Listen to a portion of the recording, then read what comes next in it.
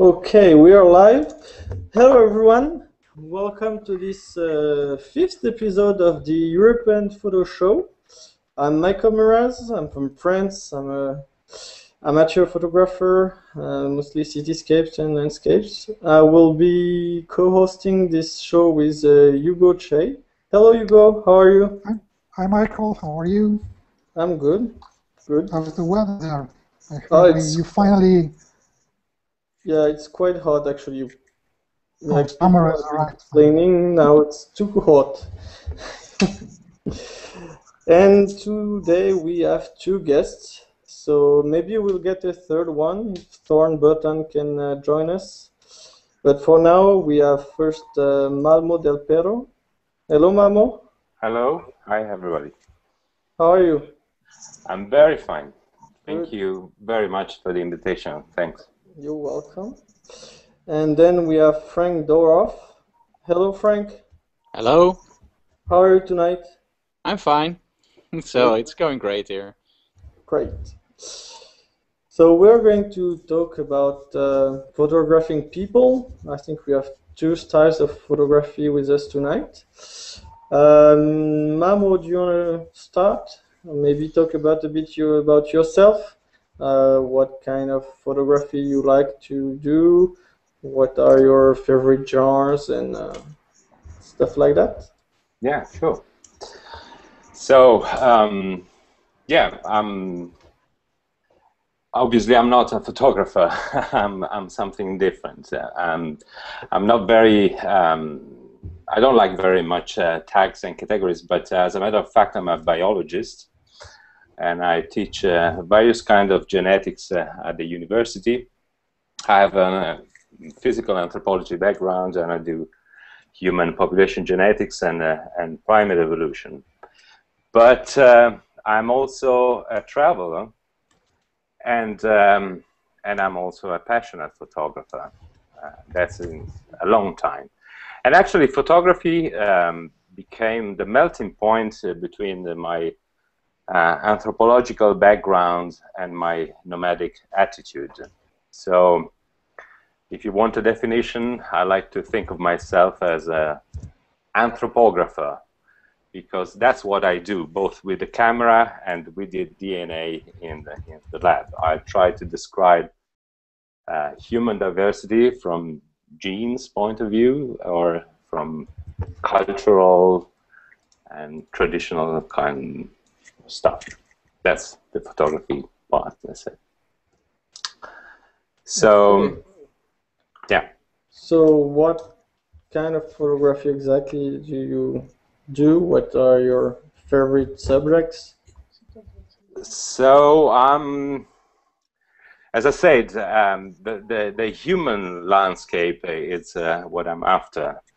And that's um, as an anthropologist, as a traveler, and a, and a photographer too. So, uh, what interests me are uh, people and cultures, and um, as well as the environment where people and culture exist, because there is a very strict relationship. So, my major interest is in it's, it's also a kind of path of uh, personal discoveries and um, it's um, it's been connecting these different sides of my personality and uh, and I must say that the camera played a major role in learning me to see, understand, and respect as well um, those different realities that I encountered while while traveling that were flowing in front of my of my face.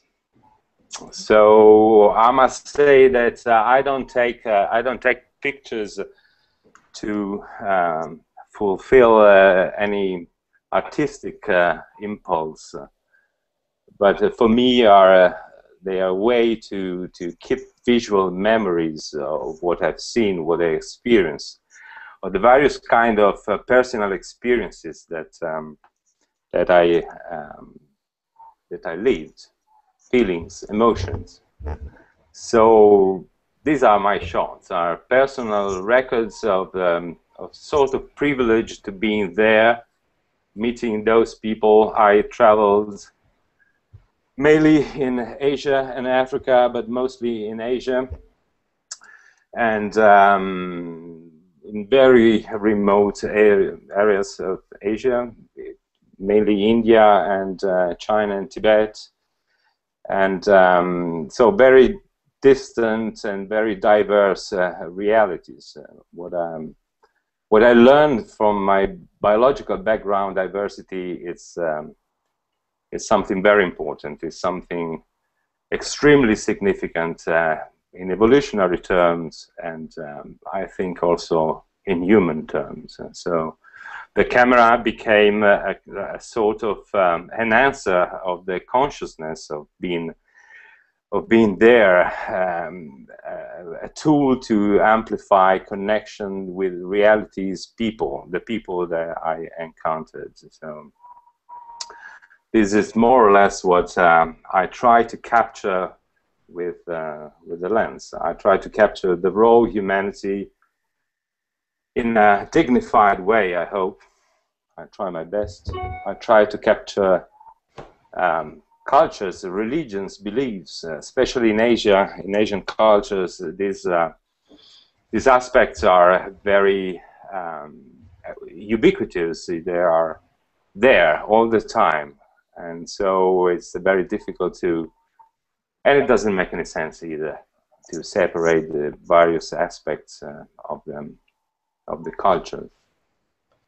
And uh, for various reasons, uh, I like to um, deal with people uh, dwelling with uh, harsh environments, uh, nomads. nomads are uh, my, let's say, long-term projects. I have different projects on the on the nomad um, lifestyle, uh, both in in India and in the, in, in Tibet, and. Um, and both in India and in Tibet, uh, it happened to me to to have uh, to have to do and deal with uh, with population that are in difficult situation, situation of, of war as it's not really a war, but in certain sense it is. In, in, Kashmir, I've been going to Kashmir for several years. I have um, a sort of uh, family connection there. I have a house in Srinagar.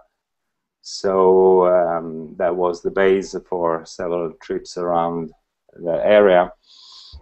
And uh, and uh, even if it's not that obvious, that's a, a very difficult uh, place to live at the moment. Uh, actually, in, since the last uh, almost 20 years, 15 years.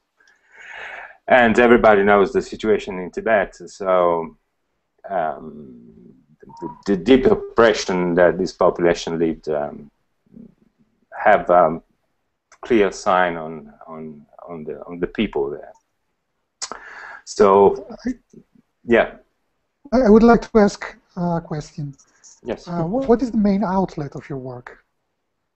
Who do you shoot for? Do you are you in? do you work with uh, NGOs? Do you do you shoot for yourself for your portfolio? You print books. So, Listen, I've been, uh, um, it might sound very naive, all of this, but um, I've been shooting for myself. I've been shooting for myself, as I say, that these are, are very personal memories. I had um, difficulties in sharing these pictures, uh, apart from the very strict friends. Uh, and uh, my, my online presence, as uh, the absence of a website in my thing down there, um, is a witness of, uh, it's it's very limited. I started sharing on Google on Google Plus um, since one year, and that's and that's it. so I've been photographing for for myself. It's um, there are no at the moment at least it didn't happen. Uh, I made a few exhibitions that gave me the opportunity of uh, talking about some issues, especially about uh, the Tibetan situation. And so, yeah, that's what um, motivated me. It's very personal reasons. Yeah, I think uh, I, I, can understand maybe not not, not wanting to commercially exploit some of the images, maybe that's that's why I was referring to NGOs. And I think those some of your images are very powerful and could really be useful for non-profits that are working uh, in third world countries and so on. Just just uh, just wondering. Yeah, unfortunately, I'm very, very bad at marketing myself and promoting myself, uh, and so um, it, did, it didn't happen. I didn't look for anybody, and um, I wasn't found by anybody except uh, rare occasions of friends and stuff like that. So. No, there is no no commercial value at the moment in my stuff, and um, I I also think I want to exclude that there is going to be a commercial uh, aspect in the future because um, not the not the stuff that I shot uh, that I shot until now at least because mm -hmm. that's my stuff, you know. Uh, you also shoot music, I think, right?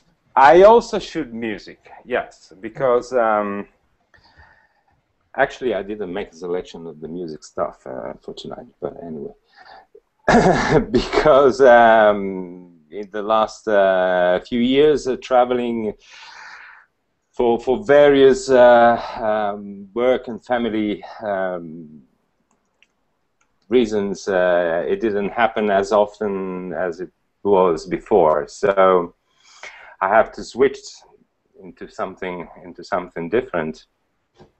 And uh, since I was a musician, I mean, I, I played a long time ago, and um, I have a passion for for jazz music, and um, so since the last few years, I started shooting, especially especially jazz concerts.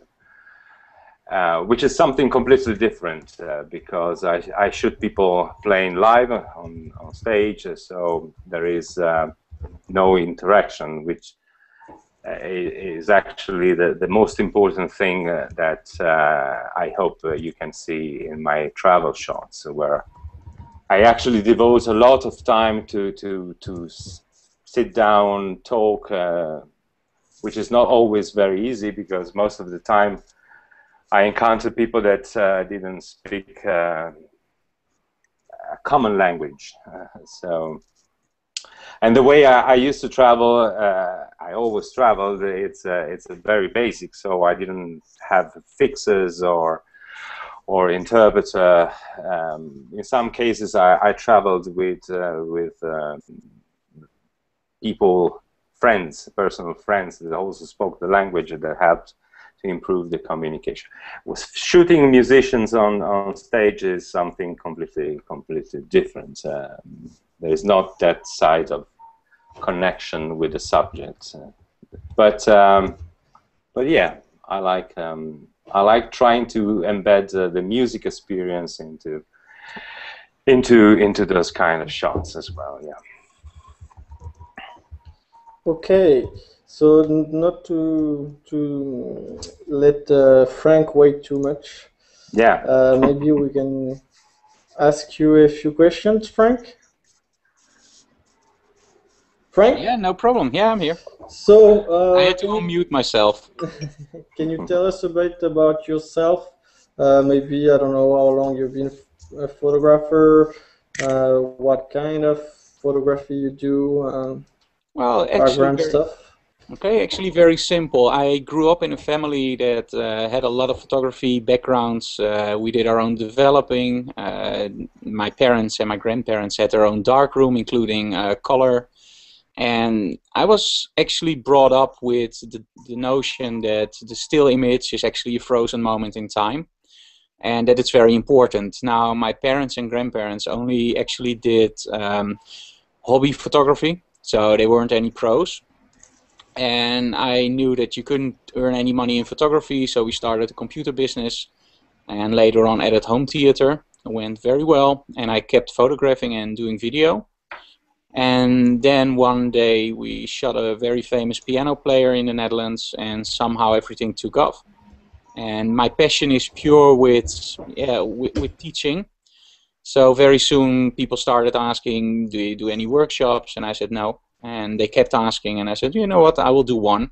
And it sold out like in 10 or 20 minutes. So we did the second one and the third one, and then I stopped because I wanted to have a whole program.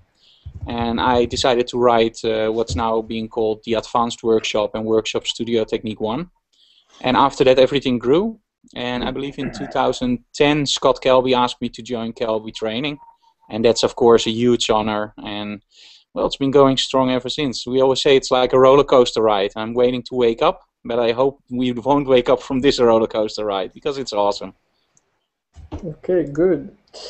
Um, so, what kind of subjects do you like to photograph? Uh, Actually, everything that moves. So, no buildings, and um, especially people. I love people because they're characters, and every people, every person is beautiful. And the power of a good photographer is getting out that beautiful character of somebody. If it's an artist or a musician or a family, it doesn't matter. Everybody can be beautiful in front of a camera if you know how to shoot them. And I love working with characters. But I also love street photography. People on the streets, um, uh, markets. Uh, you, you, can do the most awesome stuff if you put on, I always say, if you put on your photography eyes.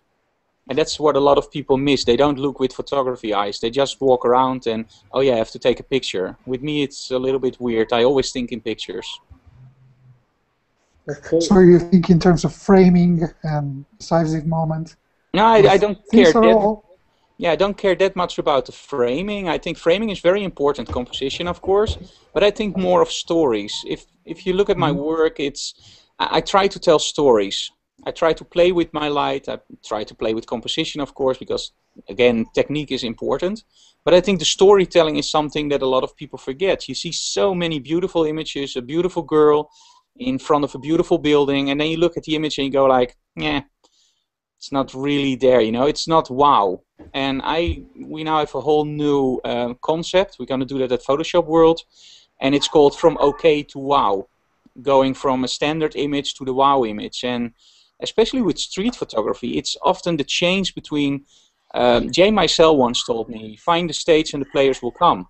Just sit down somewhere and find your angle and something interesting will come. Don't hunt for it. And it's the same with fashion photography you have to find that little story, that little turn of the head of a model that will make something interesting. So, it, do you interact with your models? It, it's uh, it's difficult to deal with a model to interact with them, especially maybe if they are celebrities, and getting that extra expression out of them. No, it, it, do you have techniques? Yeah, I, I, was brought up with a very simple rule. We all live, we all die, and we all have to go to the restroom. And some people are lucky, some people aren't. And if you're a musician or you're an artist, you're a little bit more lucky than somebody who wants to be. As soon as somebody says to me, I only want blue M&Ms if I come to your studio, I always point them towards the supermarket. There you can buy blue M&Ms. And do realize that if those people ask you to shoot them, they want you.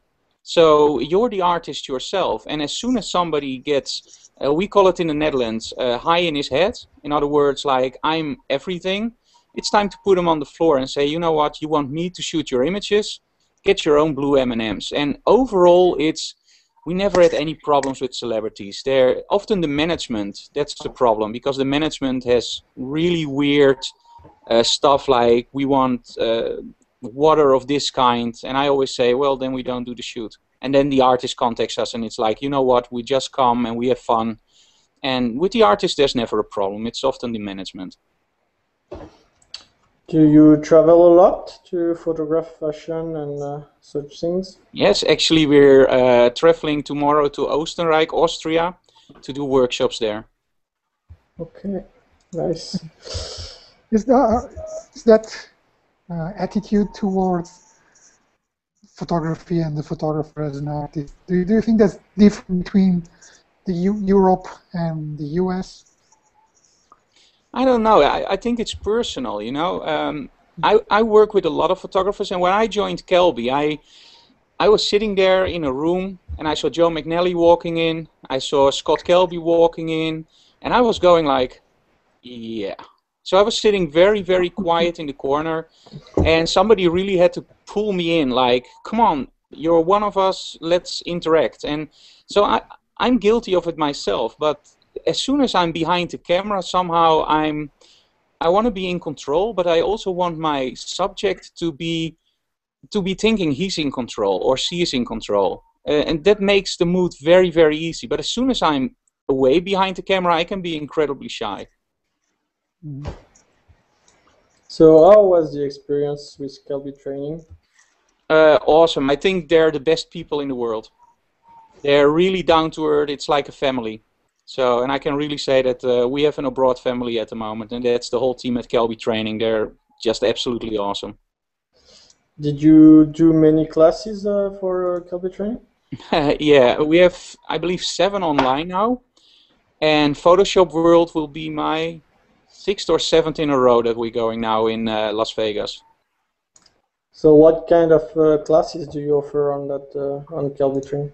On Kelby Training, we have uh, two classes on studio technique, uh, one on um, uh, Lightroom and Photoshop, one on uh, freezing motion, a few on location stuff, and recently we added the art of dance, in which we freeze motion with water, uh, flour, and smoke. Nice. Very Nice. cool. Yes. Um, so um, when you started, or if you have uh, some people that are getting started, can you do you have some tips to share about uh, starting in fashion photography, or maybe finding models and stuff like that? Yeah, actually I do. Now, when you look here, you see all this, for some people, junk, like we have the Louis Vuitton and we have a Zeiss, let me see, because I'm getting everything in the dark. We have a Zeiss Nettar here, like a folding camera, and a Polaroid. Now, a lot of people email me, and I recently, actually today, I wrote a blog post about it on my blog, about I want to be a pro. And a lot of people ask me and they say, Frank, I want to be a pro. I've been practicing for a year now, but it doesn't work. I'm still not shooting for Vogue. So I'm mailing them back and I say, you know, add another three, four, five, six. And they email me back and they say, weeks, months? I say, no, years. And they go like, yeah, but we can't wait that long. Now, the problem is with digital. We shoot and we immediately think we have something that's beautiful. Now, all these old cameras that are here are actually cameras that I still shoot with. They are not props. We actually, uh, uh, this afternoon we tried and it worked. We connected an Elinchrom strobe to a 1949 camera and it fires. So that's going to be awesome. In Austria, I'm going to bring that camera with me. It shoots 6 by 9 negatives and we're going to shoot with a 1949 Zeiss Nettar. We're going to shoot fashion and there's no focus in it. It's all zone focus. It's um, you have to cock the shutter. There's no battery in there. You have to wind the the roll itself.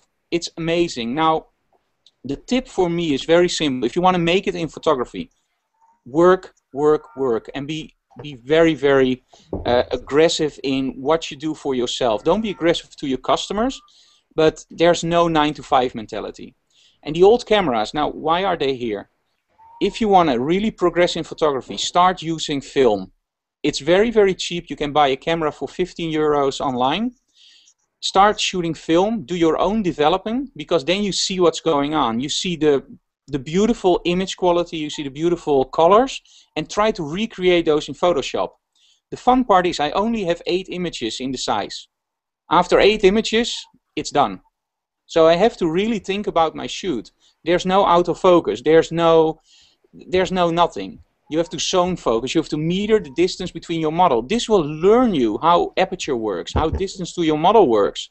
And then when you go back to digital, it's like you will slow down automatically and you will go like, okay, because now I have, don't have to think about my image. Can I just shoot? No, think about composition. The funny part is everybody I give this tip, especially with Polaroid cameras, they are thinking about composition because every time they press, it costs them a lot of money or a lot of time because they have to develop them themselves. And the fun part is they always tell me when I shoot digital, from the 100 images, I only like two or three. When I shoot analog, from the 100 images, I like 99.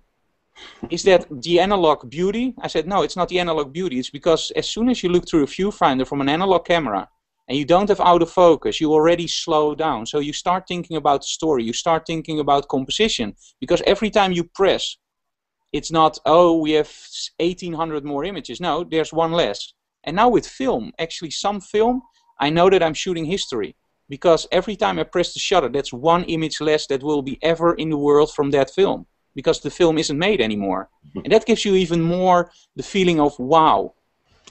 And of course, I'm a big digital shooter. I shoot medium format digital, but analog, man, just try it. It's very, very cheap, and you will be a better photographer for it. So that will be my tip.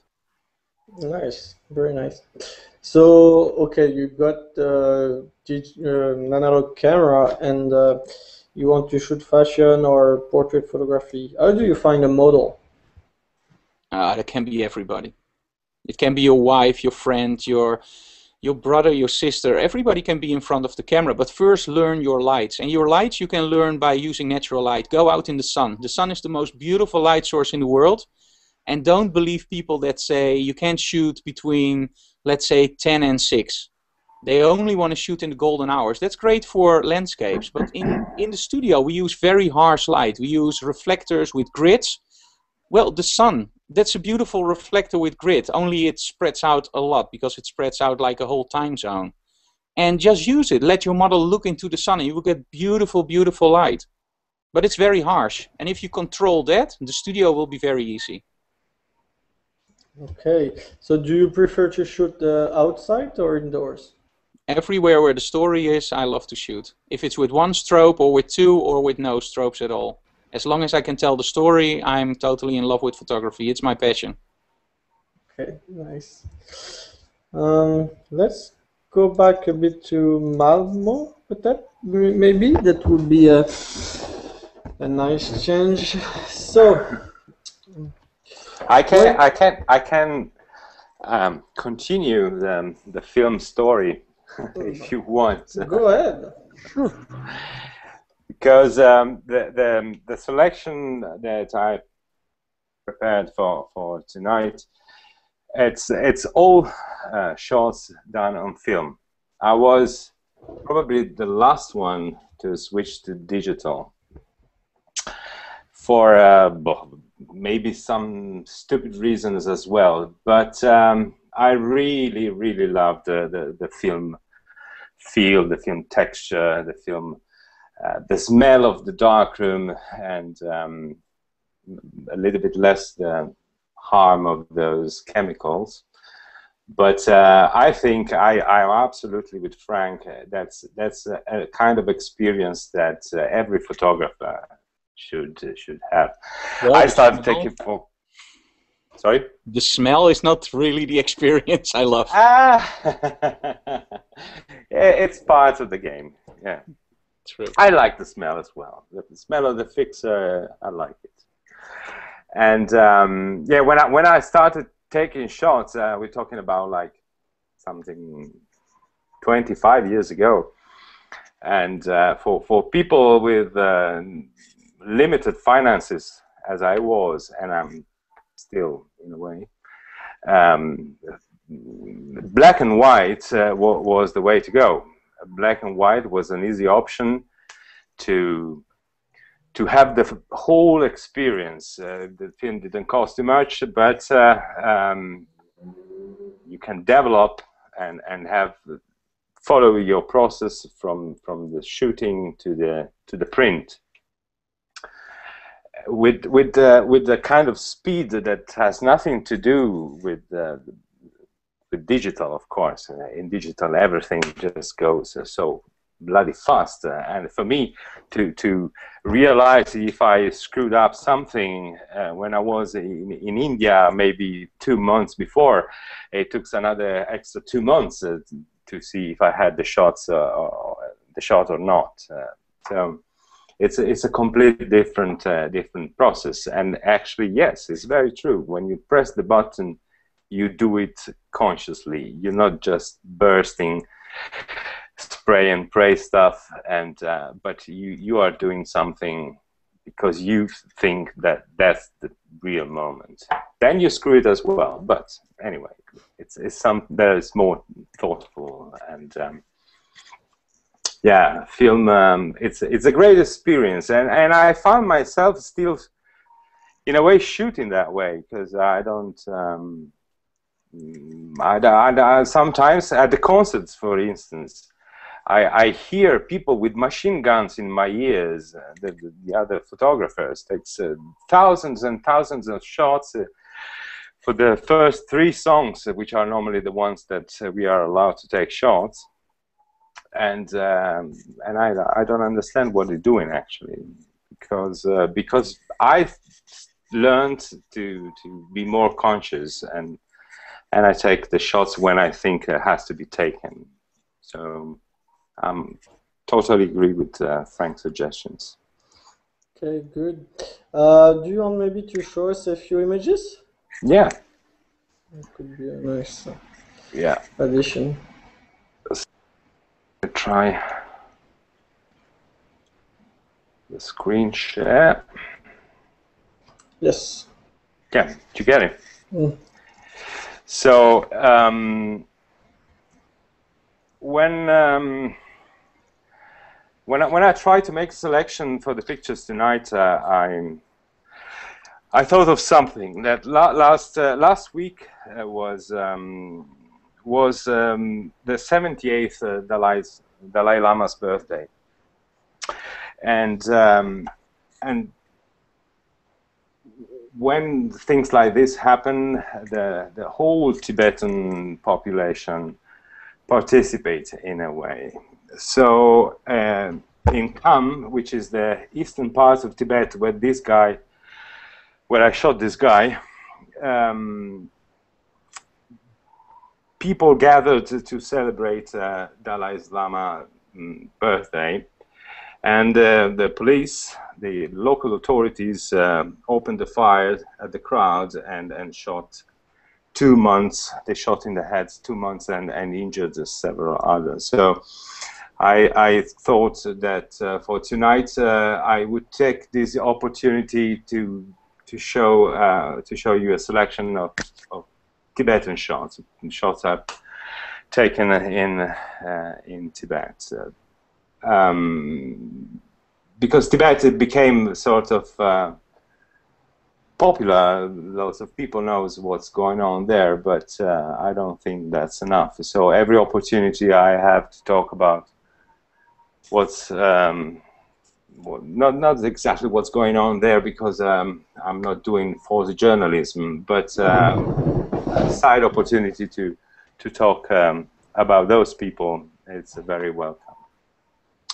So um, yeah, these are as I told you, these are shots I took on film. I think this could be a Pan F 50 ISO, and um, uh, not far from from that um, from the place that I mentioned a minute ago. Uh, I took this shot. Uh, it's a, it's an eastern part of Tibet. It's uh, it's Kham, which is um, is actually China. It's Sichuan, but uh, the, but the population is uh, is Tibetan, and these are the the, the, the warriors of Tibet. are the guys that um, helped the the Dalai Lama almost 60 years ago. No, yeah, something like that. Um, in 58 to, to escape uh, from Tibet. They, they are warriors. They are big, big guys, very proud people, and um, every year they gather in this uh, in this place for a horse festival. They have a, a culture um, of horse, um, horse riding, and um, acrobatic uh, games and, and, this kind of this kind of stuff. And for the occasion, they they dress up in uh, in, in their traditional, very nice um, uh, outfit and yeah, this these crowns. Sometimes shooting black and white uh, uh, loses uh, some of details. These are these um, crowns are made of um, coral, which is something that doesn't exist in Tibet, of course, being a marine thing. But um, since always they had this um, fascination for tur turquoise and, and coral as well. So actually these crowns are very, um, very colorful uh, as well. So this is another shot uh, I took um, um, around there. This is central Tibet, actually. And uh, I this is probably the last, uh, the, the only shot uh, that I showed already publicly on, on, on Google. And and it was quite popular a while ago when I when I published it because um, because I know because people somehow liked it, and this was one of those personal experiences I was I was talking uh, earlier on. Uh, this this is a, um, it's a hermit, it's a monk. Normally monks are shaved. This guy had very very long hair. He's a Tibetan Buddhist monk, uh, which I met into his uh, his little place uh, where where he lives uh, since since many years, and I, I somehow gained some kind of trust and. Um, and we walked for, for several um, nights, evenings, uh, together along this uh, lake. It's a salted lake at uh, almost 5,000 meters altitude. The, the, water is salted. It's a, it's a piece of ocean that is uh, trapped, that was trapped in the, during the formation of the Himalayas. And um, so I had beautiful moments uh, with this uh, with this guy. And uh, one evening, he just leaned on this rock while the sun was setting down, and um, and I was very very grateful for him to let me take this uh, this picture. I don't I don't. Um, uh, I don't ask people to pose. I, I just uh, take um, take what I what I what I can take. What they let me allow to take. Like this guy as well.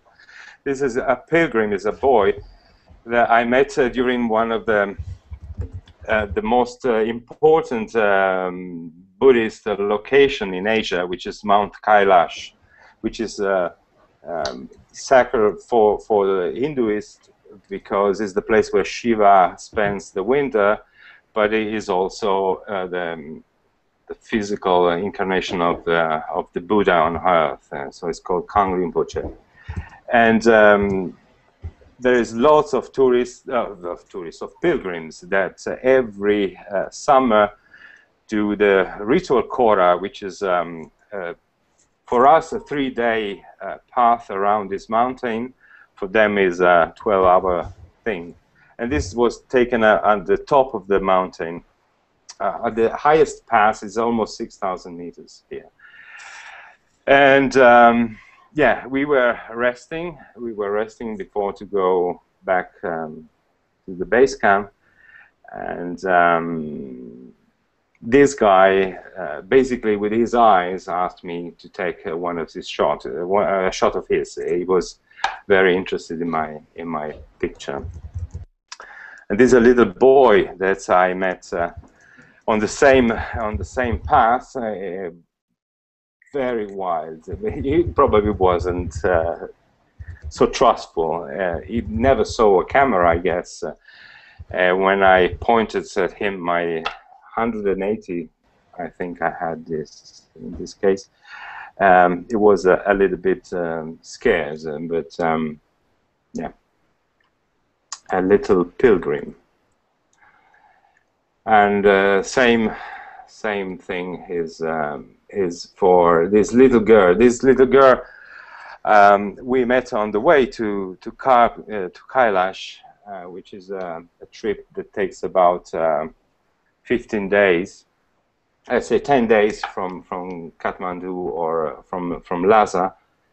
And it's a pure barren land, nothing, nothing except big fields uh, with uh, yaks and, and boys and girls that take care of the yaks. Uh, so this is um, um, a little girl was taking care of a herd of uh, uh, at least a couple of dozen of, of yachts with uh, with her sister, and uh, and the same as this one in the middle of nowhere. Uh, I met this beautiful girl. Uh, she was really beautiful, really cured. She she had her bride, perfect brides. Uh, um, she she was really really like um like a model. But uh, I met her in, in right in the middle of nowhere, absolutely nowhere. and we spent a couple of uh, a couple of hours with uh, with her and the family. And at the end, uh, she let me take uh, a portrait shyly. She was quite shy, as you can see. And um, yeah, uh, this is um, Tibet. It's it's it's a very big land actually, and uh, uh, they have Buddhism and, and faith that unifies the, the culture, but they are very diverse in terms of um, um, clothes uh, and, and, and habits uh, uh somehow. So in the in the northern part uh, of of Tibet, um, women wear these um, very strange lamb hats and um, so like this one this is another kind uh, of uh, of um, of hat. And then you can encounter people in the in the everywhere in the most unexpected uh, way. Very interesting people. This guy was a was a monk as well from a very particular sect of monks. Uh, he was not Tibetan, he was Mongolian, but he was living in, in Tibet. And he was my neighbor on a 10 hours trip on a, on a bus, on a public bus. And was uh, sitting on me, and uh, I wonder, I never met uh, monks uh, like, like this. Uh, and uh, luckily, when we when we stopped, uh, I took this picture during one of the breaks um, uh, on, the, on the way to Xining in uh, Qinghai in Amdo. Um, I met uh, another person who spoke a little bit of English and and told me the um, the special uh, sect these these monks um, belongs to. As well, this guy is very long, very long combed hair. Of course, yeah. Okay, just one last, uh, yeah. and then we'll switch to Frank. Thank you. Okay, a couple, a, just just two last. I want to show you okay. this, uh, this uh, these two pictures, which I, I is part of a well, like a sort of little project uh, I took on uh, uh, in, Dege in, uh, in eastern Tibet. Um, this guy is uh, carving a, a, piece of, uh, of wood. Um, I took this picture in one of the most ancient um, printing houses uh, of Tibet. If you, if you ever saw, Tibetans uh, use very special books which are actually loose papers of the dimension of this, this paper, this um, block of wood which are manually uh, printed. And, uh, and it's, it is done in a very, very um, manual way, also the preparation, because guys like this one uh, take the original text, uh, which is the paper you see on top of this image, and uh, like mirror, they, they write down, mirrored the, the writing of the, of the text. They pass this, uh, this sort of transcription to guys like this who carved the, um, the wood, making a sort of uh, huge uh, stamp. And this stamp then is going to be um, used uh, with, um, it's going to be uh, dyed with ink and in a, in a very uh, fast way, humans um, print several thousands of the same page every every day. And groups of them are able to print uh, um, several dozens several hundreds of copies of the of books uh, um, every every month every month uh, which are then distributed to the to the monasteries and um, and the places uh, around. Mamo? yes. Mamo, I know why you like this yeah, sorry.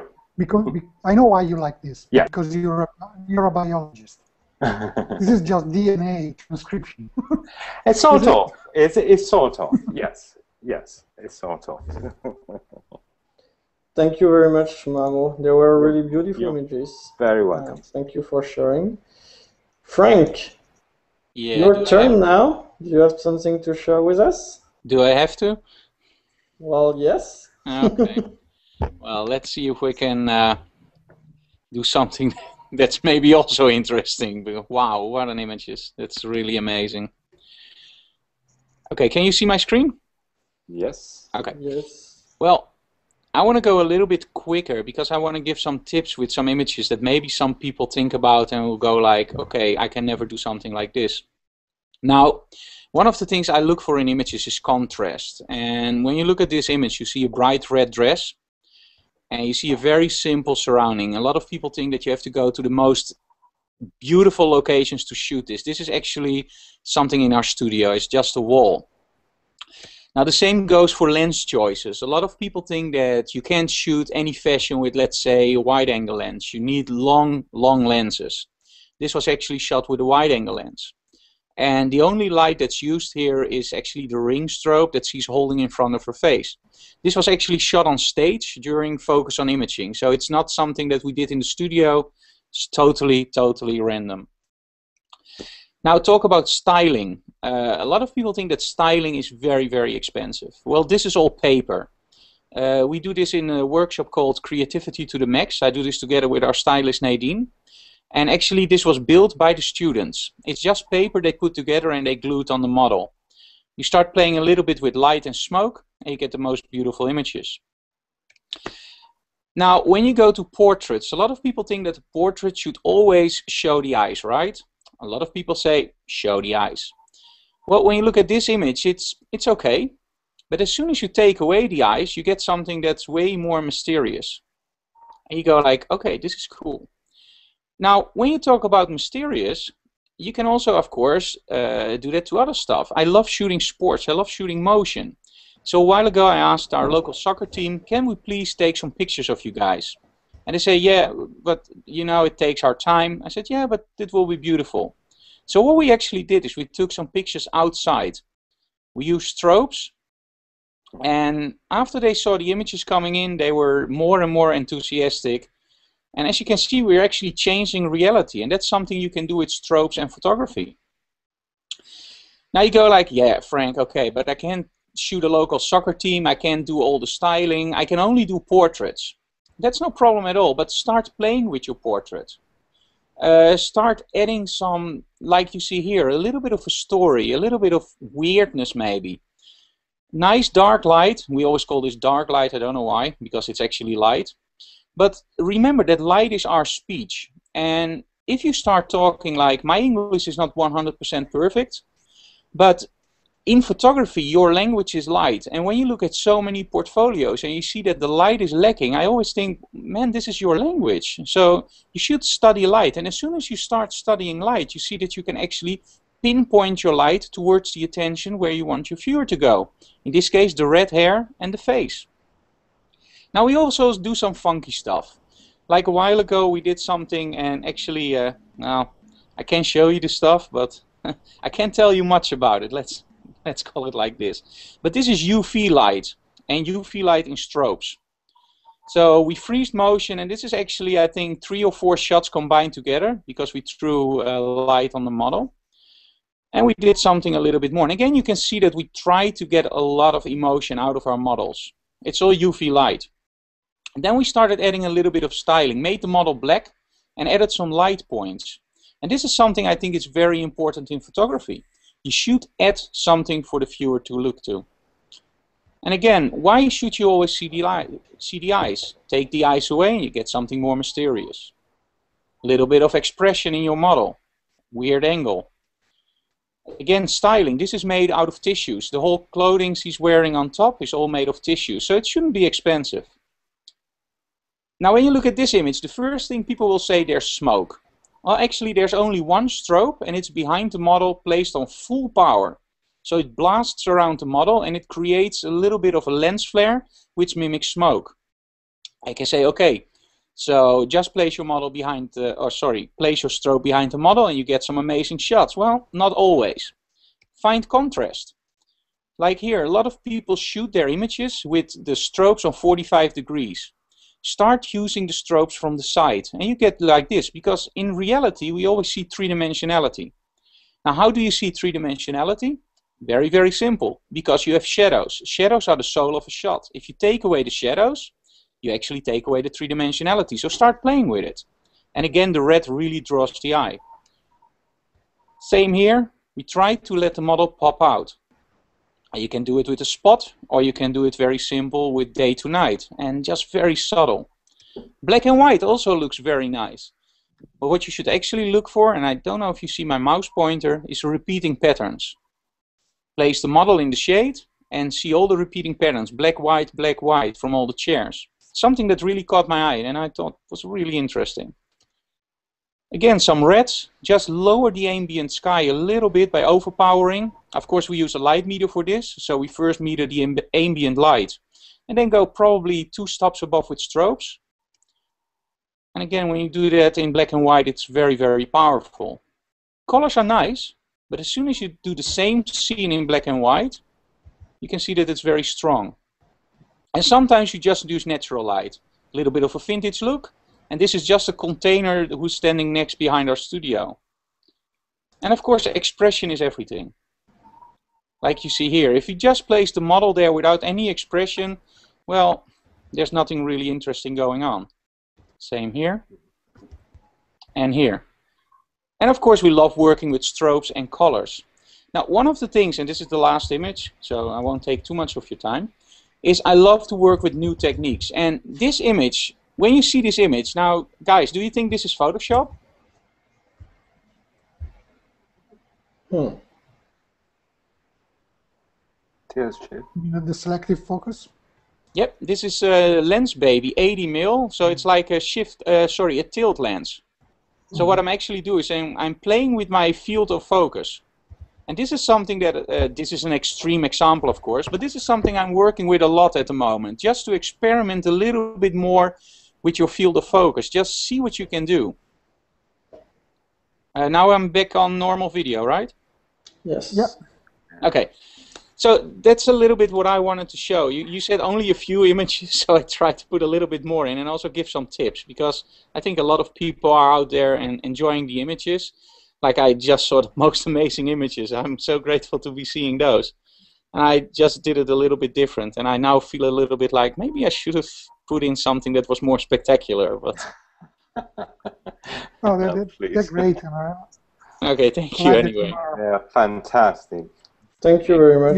You you uh, have a very, if I can, if I may say so, very unconventional style, which typically when you see people doing fashion or um, glamour, there's some very soft light, typically, right? Traditional you, poses. And you know the problem with soft light? Yeah. Soft light always works. Uh, just mm-hmm. point, uh, just point a big softbox towards somebody, and it doesn't matter how you point it, it will always work.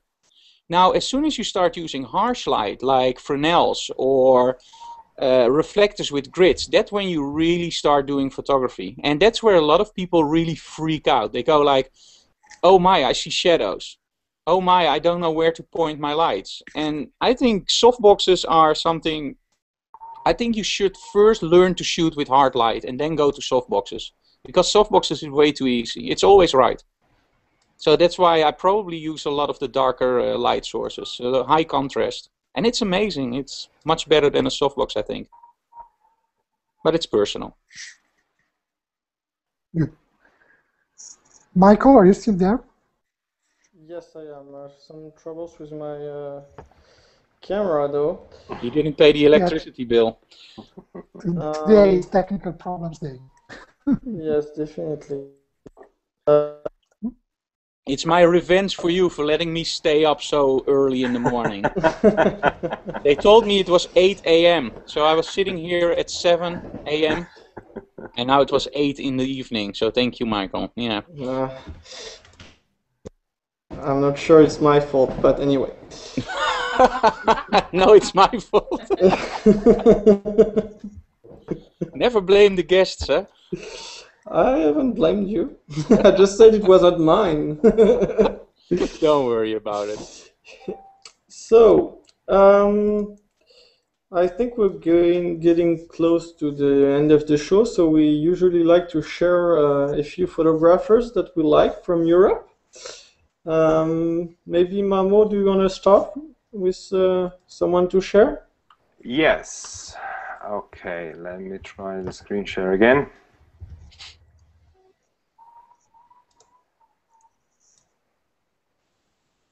Um, so, as, as I say, I yeah, are you seeing what I'm seeing? Yes. Okay. So um, I have a couple of guys that I want to mention very very quickly, but uh, please do me a favor and visit um, their their website and uh, Google Clans. Um, one of them is is Andy Lee. Uh, Andy built a very solid reputation of uh, lands, let's say landscape photographer, but he, he's one of the most terrific um, portrait photographer uh, as well. And um, and so please uh, just dig his uh, his albums in his um, and his website as well, uh, and you will find the most amazing uh, portrait picture. The other one is also present on, on Google Plus, but is probably more active on other on other platforms. Is my good friend uh, Matjaž Krivic, is a Slovenian photographer, um, which I actually met in Tibet, um, and and we were in a couple of those places that I showed you before. We were together um, he's a fantastic geographic uh, geographic photographer. He, has been doing lots of landscape work, but uh, more recently he developed a project he called uh, Urbanistan, um, which uh, which is about the interaction of humans and their environment, the cultural environment and their natural environment.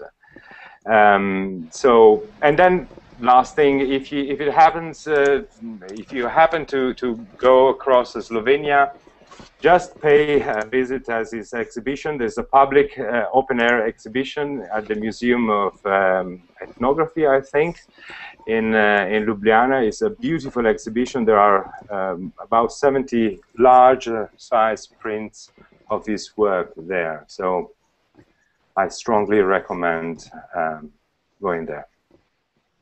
Okay, thank you very much. And I'm You're back with uh, another camera. Frank, do you have someone you want to share? Yeah, and uh, because we are Dutch, we always do exactly like you tell, like being here in the morning. and I only selected one. So I'm going to show you him. And actually, he's, uh, let me see where I can find him. It's here. Start screen share. And now I hope I pronounce his name correctly. It's Richard Powazynski. Mm-hmm. And he will probably change it if it's not. Now, he's in a group of mine called Fashion Photographers. And it's on Google Plus. And he posted an image a while ago. And now, why are all the images the same? Ah, there we go. He actually, I found this out uh, that he visited the workshop of mine, so he must be a really cool guy. Um, he's, he, this image, do you see this one with the dress? Oh, yes, I saw this one. Okay, he has a whole series with this look, and it's something that somehow I keep coming back to the images. I think it says everything that I just thought about. It's composition, but it's also the look. And now, one thing I really like to add one of the reasons I still shoot analog is for the look. You have a lot of the software out there now that's called like Alien Skin Exposure, DxO Film Pack, and they all try to emulate a certain look of film. And somehow it never reminded me of film. It was something that was beautiful, it was nice, but I always thought, you know, I'm missing something. And during the workshops, I always tell people try to differentiate yourself. There's so many photographers out there, you have to stand out. And you can, of course, just shoot your images, but why not give him a little bit of a tint? And somehow he hits the nail every time because every image I see from him, it's like I love the styling in the images, in color wise. I, I, I love everything about it. And yeah, that's why I wanted to share him. And I want to point out one little thing. If you go to communities, you can see a lot of cool guys out there, and it's the fashion photographers uh, community. It's actually I started it, and there are now so many people on there posting that, and you see the most beautiful work coming by. So that's something that, uh, yeah, and he's also on there. That's where I find the images. Okay, Really thank cool you. photographer. Thank you, Frank. So, Ugo, did you find a photographer for us? Not this time. I was lazy. Okay. So, I'll try to sh share one if it uh, works uh, right now. So, let me screen share. So, the photographer, can you see that? hmm Okay, so the photographer is uh, David Pairé, which is a French photographer. He's doing a lot of uh, portrait, but not only. So let me find. I had some images uh, before I wanted to show. So, and what I liked about him is very different styles. And as you said, Frank, you don't need the eye on a portrait, for example. He loves to just have this kind of style and uh, different images. Uh, I really like his style. So anyway, uh, David Pairé, which is a French photographer. Okay, Fantastic. so I think this is pretty much the end. Uh, thank thank you guys very much uh, for coming here. Thank you for having me. Thank And us. you for inviting us. That was very interesting. A lot of things to talk about. So, um, thank you again. The next show will be in two weeks. Uh, so, Ugo will be talking about expats, right? well, I was hoping to be an expat myself that day, but looks like I will have to postpone my, my trip. Oh, But too bad. anyway, we will we will gather some Europeans that are currently living abroad in the U.S. or Asia or other countries, and see what their perspective of those countries, especially from the from the visual point of view, is. Okay, great. So, again, thank you guys, and uh, see you soon uh, on Google Plus then. Thank you. Thank you very much. Goodbye, everyone. I'll just